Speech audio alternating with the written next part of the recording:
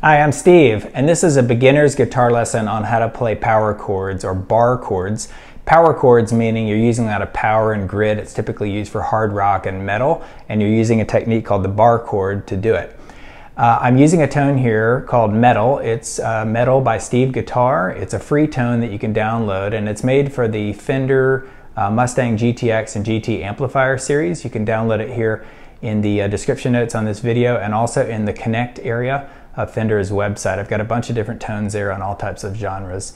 Hit subscribe below for more tones, tips, gear reviews, and guitar lessons like this. All right, let's get started.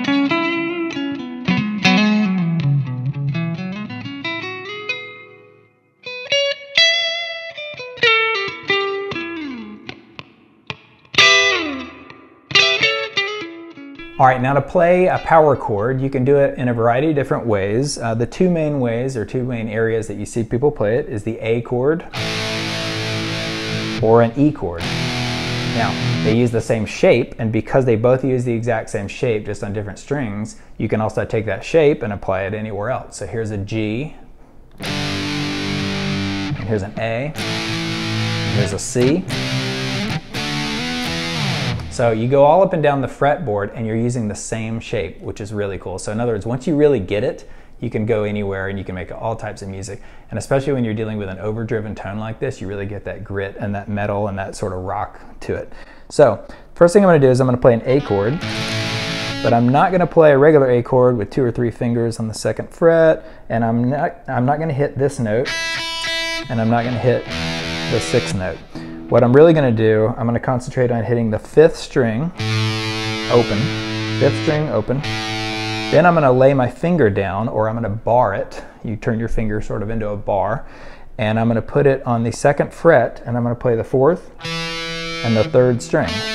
Now I could play the second string, uh, but it's really in the low notes, so the bass notes is really where you get the power for these chords, like that.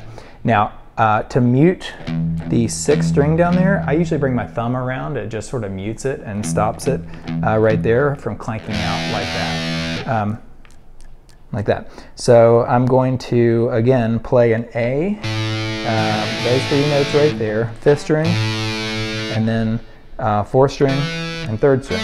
So I'm barring it. Now, you can, you can hit it out, or you can do what I do a lot here is palm muting. I've got another video on how to do palm muting, but you basically set your palm right there. So check out that video. So already you're getting that good rock kind of tone. Well, where the magic happens is when you use another bar on a different uh, set of frets. So for example, if I play that exact same shape that I had here, which is basically uh, the equivalent of open, meaning uh, it's sort of like putting my finger right there, and putting uh, two fingers right there. See that? I'm sort of using that kind of shape. That's another way you could think of playing it. Well, if you move that up three frets, now you're playing that same shape on the C. will uh, show you another way. If I put my first finger on the third fret of the fifth string,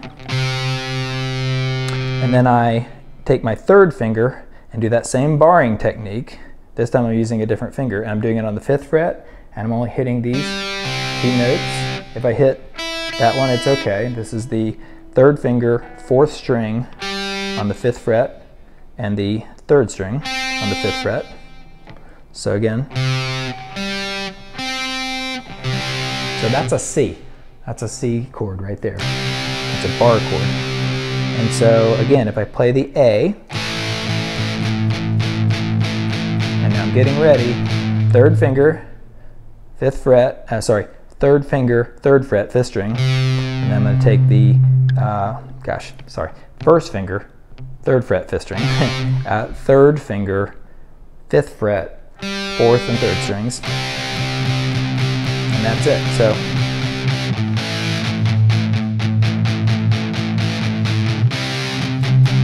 Now what's cool is you can now take that anywhere. So I can slide it up and go two more frets. Now I'm playing a D, now you take it to E.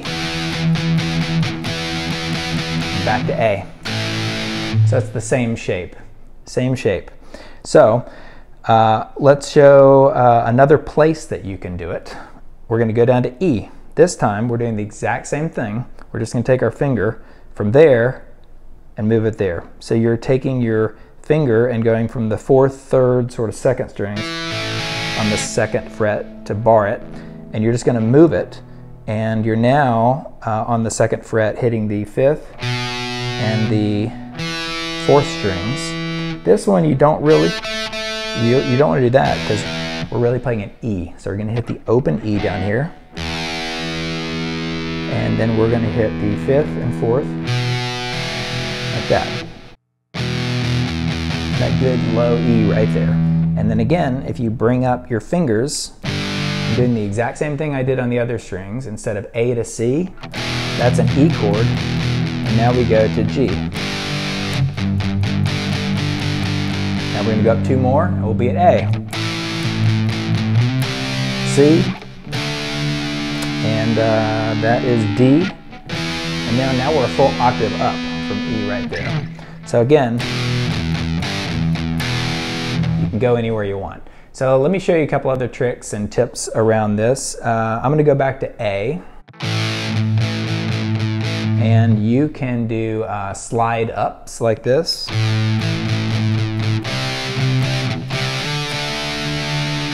So I hit the A, I go to the C, and then I hit the C once and slide it up.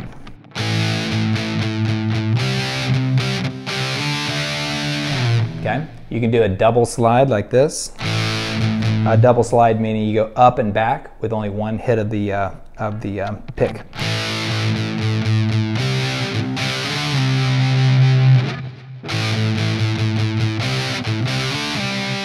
Okay, you can also do a little slide down instead of up like this. I'm gonna go uh,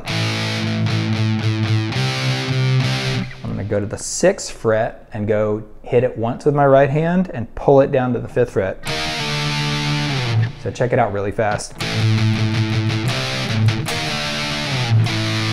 Pretty cool. Uh, another option is to do an octave uh, and just go crazy octave. So I'm gonna go down to, let's start with the E chord this time.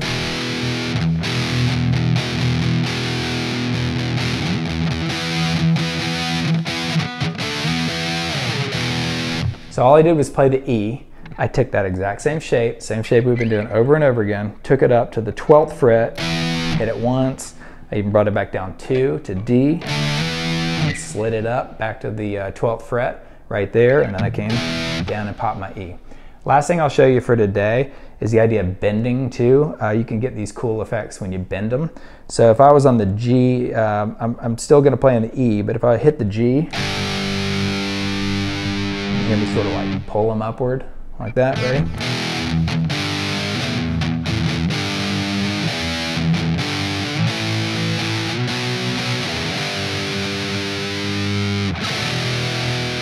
Sort of big pick at the end there. All right, so that's a look at bar chords or power chords for rock and metal. Hope you enjoyed it. If you did, subscribe today for more guitar lessons like this, along with more tones for the Fender Mustang GTX and GT Amplifier series, gear reviews, and a whole bunch more. Thanks. See ya.